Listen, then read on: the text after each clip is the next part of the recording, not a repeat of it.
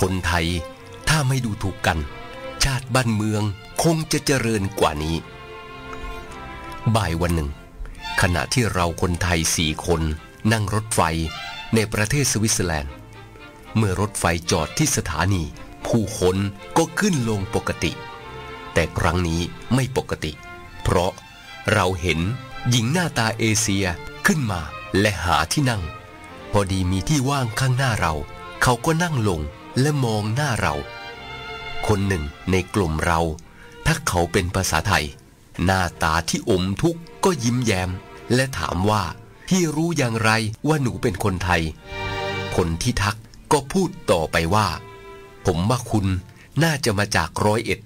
เธอยิ่งประหลาดใจมากขึ้น จึงถามต่อว่า พี่รู้อย่างไรว่าหนูมาจากร้อยเอ็ด ใช่ หนูมาจากร้อยเอ็ดค่ะ มาที่นี่ เพราะ แต่งงานกับคนสวิส เมื่อถูกถามความเป็นมาและสารทุกสุขดิบ เธอก็บอกว่า หนูเคยแต่งงานมาแล้ว และสามีทิ้งจึงต้องรับผิดชอบเลี้ยงลูกคนเดียว โชคดีที่มีโอกาสพบคนสวิส จึงตัดสินใจแต่งงานกับเขาเพื่ออนาคตของลูก เมื่อถูกถามว่า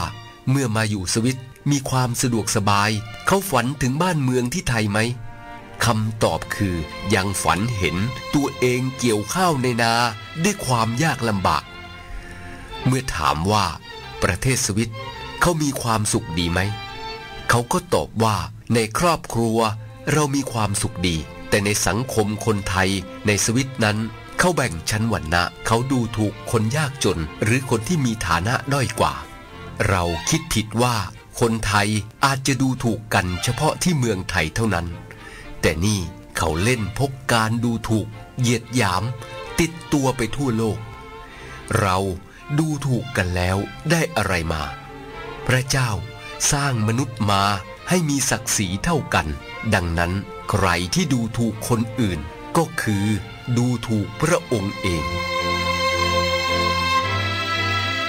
พระอัครสังฆราชหลุยจำเนียนสันติสุขนิรันดร์